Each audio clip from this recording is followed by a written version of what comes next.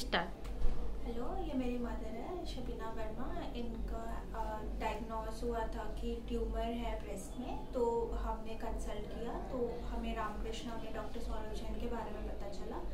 हमने आके उनसे कंसल्ट किया। बहुत ही स्मूथ प्रोसेस था। There there was no pain initially तो डायग्नोस नहीं हो पा रहा था बट हमने बहुत सारे टेस्ट करवाए, जिससे पता चला कि ट्यूमर है तो हमने ज़्यादा देरी नहीं की बिकॉज़ ये बहुत ही अर्ली स्टेज था और जितना जल्दी हो सके अगर ये निकल जाए तो बेहतर होगा इसलिए लास्ट वीक हमारा मम्मी का ऑपरेशन हुआ और उसके बाद से ज़्यादा कोई दिक्कत नहीं है।